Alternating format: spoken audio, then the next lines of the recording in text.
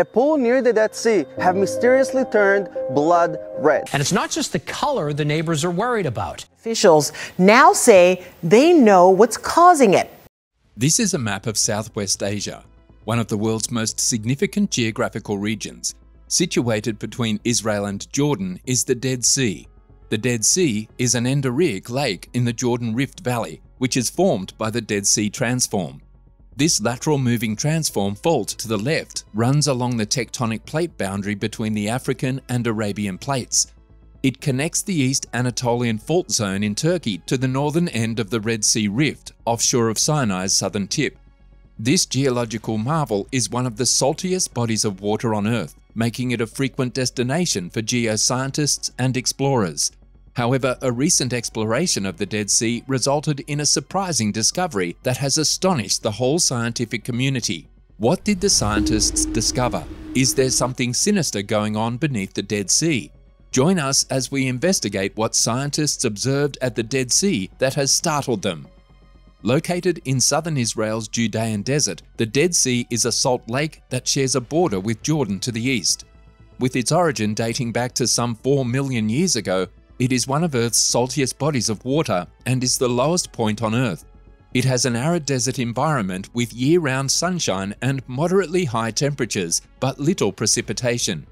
It is believed that volcanic processes have led to a constant sinking of land, placing the Dead Sea at the lowest place on Earth. These unique characteristics are the result of its extreme geomorphological structure and harsh desert climate. These cause frequent dramatic shifts, resulting in a landscape unlike any other in the world. Furthermore, the area's unique mineral richness of the air, soil, and water is widely famous for its therapeutic qualities, as evidenced by the fact that it has been a health resort for thousands of years. But there have been a lot of mysterious occurrences near the Dead Sea, and one that has scientists baffled is the discovery of water that has turned a blood red colour. This is remarkable because the last time a body of water became red like blood was in the Bible, and as we know, the Dead Sea is highly prominent because it's mentioned multiple times in the Bible. It just doesn't seem normal or natural to have a red pool of water turn into blood as a prominent landmark in major history texts. This startling discovery was made in modern day Jordan, commonly known as Moab in the Bible, the discovery of a pool of water turning inexplicably red just inside Jordan's border was such a shock that the country's Ministry of Water and Irrigation had to intervene. Workers from the ministry went to the location of this strange phenomenon and took water samples in order to determine the cause and origin of this problem. While the Jordanian ministry has been attempting to investigate the cause of this problem, images of this red blood-filled water have already circulated all over the internet, sparking many debates. Concerns that this discovery could spread a new pandemic were a common theme among social media users. Many people accepted the likelihood that this theory was correct because blood red waters are mentioned in the Old Testament as one of the ten plagues unleashed on Egypt and its stubborn Pharaoh in order to rescue the Israelites from slavery. According to the biblical story, God changed the makeup of the Nile River from fresh water to blood, which killed aquatic life forms in the river and barred Egyptians from using the water in their normal daily activities because the water had become worthless. Another perplexing discovery was when geologists discovered that the eastern sides of the Dead Sea were the Blood Red Pond, which also happened to be the location of two biblical cities. These cities are Sodom and Gomorrah, which God is said to have destroyed because of their sins. But as these beliefs circulated over the internet, the Jordanian government was investigating to see whether there was an earthly explanation for this bizarre phenomenon.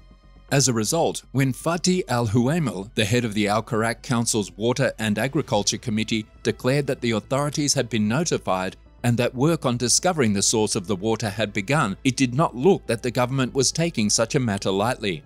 While there are currently no credible explanations, certain scientific hypotheses are promising in explaining why the lagoon, which is isolated from fresh water, suddenly changed hue.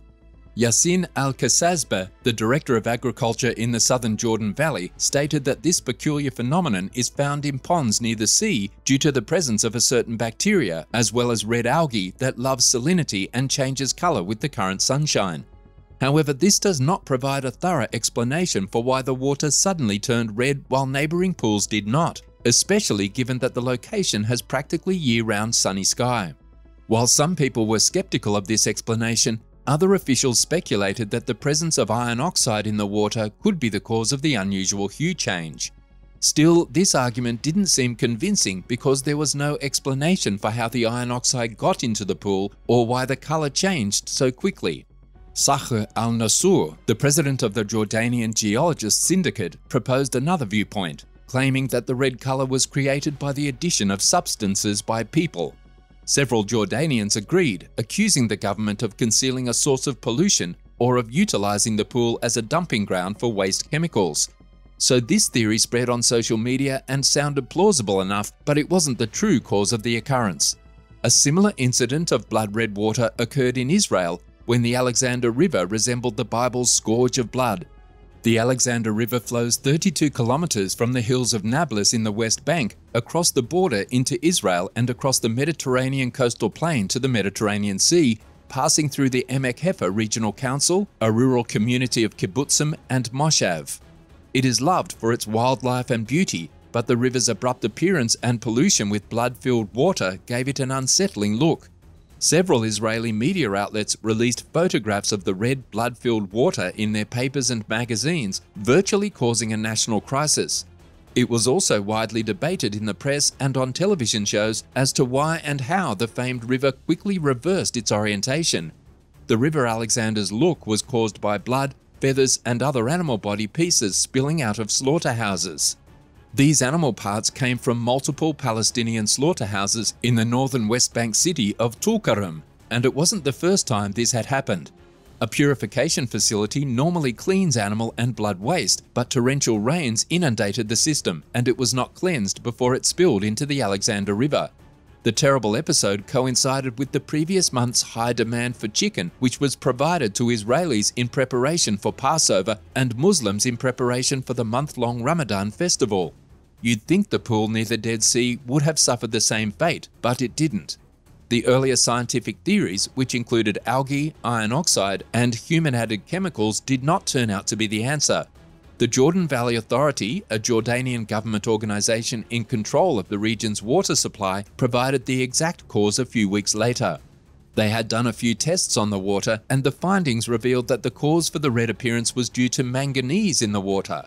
That was a strange discovery that had never been heard of before. Manganese is a naturally occurring element that is widely distributed in the Earth's ecosystem. It is found in land, air, and water, as well as in our diet. However, scientists speculated that an extremely high quantity of manganese could affect the color of the water and give it a reddish hue, similar to iron. Iron and manganese, according to a geological assessment conducted in the United States, are both metals that might cause stains in plumbing fixtures or laundry, although they are not known to be the source of health problems. However, it is unclear how the Deadpool Sea had such a high manganese content. Discoveries around the Dead Sea are not new, having been a beacon of history since biblical times. However, modern discoveries did not occur until the 19th century. For the first time in 60 years, archaeologists have discovered a new fragment of the Dead Sea Scrolls, a cache of ancient Jewish and Hebrew religious manuscripts discovered in the Qumran caves on the northern shore of the Dead Sea. The excavations were carried out by the Israel Antiquities Authority, which believes the new scroll, written in Greek, is a missing part of the Book of the Twelve Minor Prophets scroll, which was discovered in 1961. It includes verses from Zechariah 8 16 17, as well as Nahum 1 5 6. Minor differences in wording between manuscripts are significant in shaping our understanding of the evolution of the standardized Hebrew Bible. The first Dead Sea Scroll was discovered in 1947 by a Bedouin shepherd, making it one of the most significant archaeological discoveries of the 20th century. The parchment and papyrus manuscripts, which date from the 3rd century BC to the 1st century AD, contain the earliest known texts from the Hebrew Bible as well as other apocryphal writings. The new fragments were discovered in the Cave of Horror, where archaeologists discovered skeletons of men, women, and children killed during the Bar Kokhba Revolt, a Jewish rebellion against Rome from 132 to 136 during Emperor Hadrian's reign. The discovery of Roman encampments on the cliff above the cave suggests that the insurgents were besieged until they died of starvation. The cave can only be reached by rope, which descends 200 feet, The new Dead Sea Scroll is one of several recent archaeological discoveries, including a partially mummified 6,000 year old child skeleton, Jewish coins from the time of the Bar Kokhba rebellion, ancient arrowheads, and a 10,500 year old basket that has remained intact, lid and all, due to the desert's hot, arid environment. What do you think about these recent discoveries around the Dead Sea? Tell us in the comments below.